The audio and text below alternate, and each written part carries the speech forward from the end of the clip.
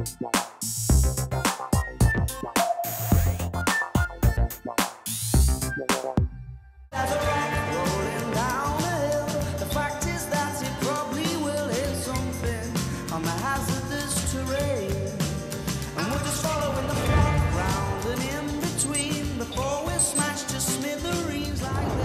Juste derrière le Flatiron Building, au croisement de la 28e, je vous emmène au Nomad Hotel, un nouvel hôtel à New York qui non seulement cartonne, mais un public très branché, un restaurant très sympa et surtout 168 chambres différentes qui méritent le détour. Sunday. Hey Jeff, Hey, how are you? good, good to see you. Thank you Welcome. for uh, letting us uh, Of course. Coming in the middle of Fashion Week when you are the most busy. My pleasure.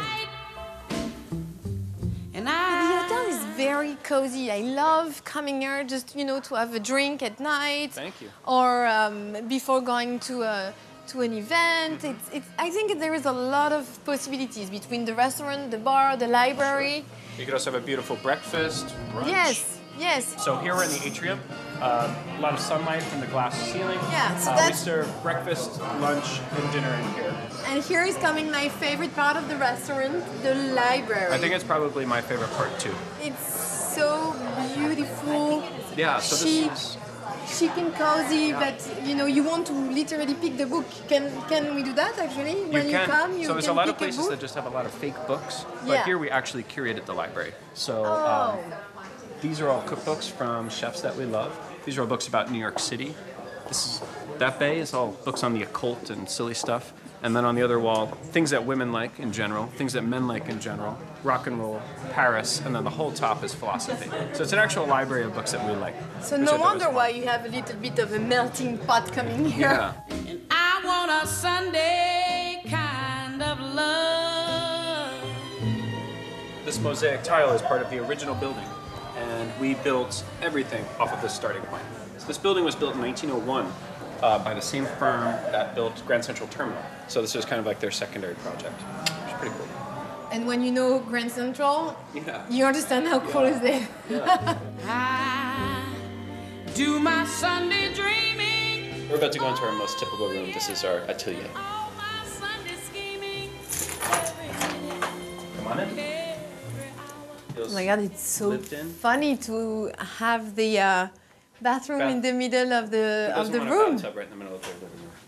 I just want to sit at that desk and write a novel. No, I want to sit at, at that desk and watch my husband having his bath and Right. talking to each other And this is while you have uh, soap in here, you can also put champagne in there, which is nice.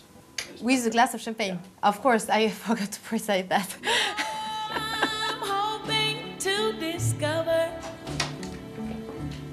So, this is the Suite Royale. wow. So, it's like an apartment. yeah, this room is designed to invoke a very lavish New York meets Paris apartment.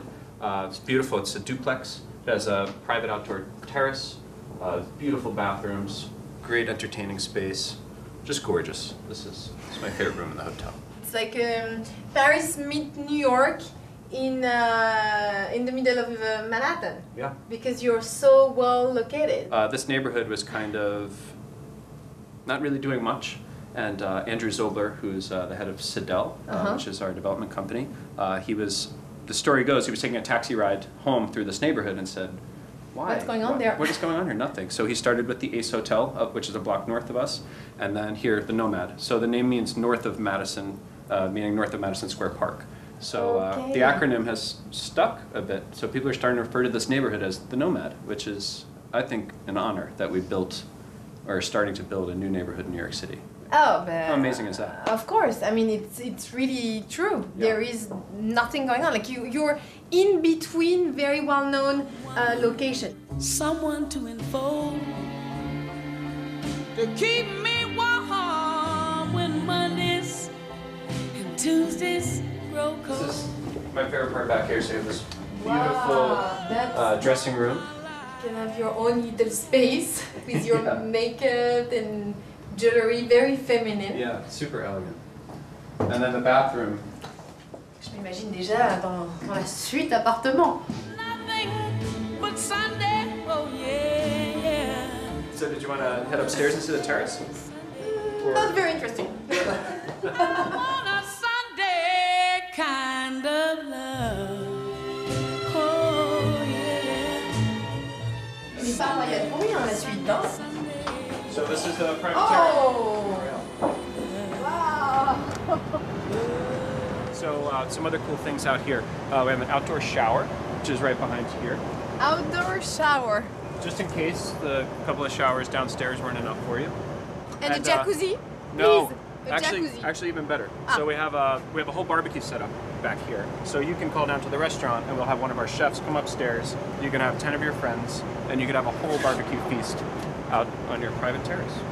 Very nice. I was wondering actually when I saw the table, uh, you know, if everything was coming from downstairs or like the little it's easier to cook it right here for you. So.